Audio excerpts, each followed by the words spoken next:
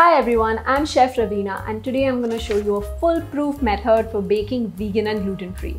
Now the number one thing you need when you bake vegan and gluten-free dessert and especially cakes are bottomless ring molds. So this is super duper helpful because you can create your own base as well as it's super easy to then remove the cake once it has baked. So how are you going to do this? Let me show you. So what you essentially need is one piece of foil. So this is a rectangle piece that I've cut through. This will be the bottom layer. On top of this, I'm going to add one piece of parchment paper. So again, it's a rectangle shape cut through, which I'll put on top of the foil. On top of this will come my ring mold.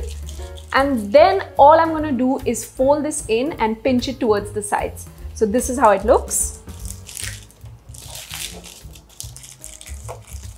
So essentially what I've done is I've created sort of a fort for my cake mold so that the batter does not come out. So below I have foil and inside is parchment paper.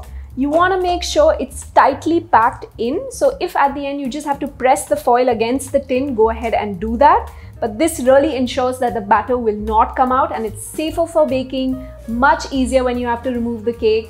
Um, so a lot of the times the recipe you've used is probably correct, but the sort of mold you've used is incorrect, which is why you think the recipe is failing. But for gluten-free baking, I highly recommend using bottomless ring molds.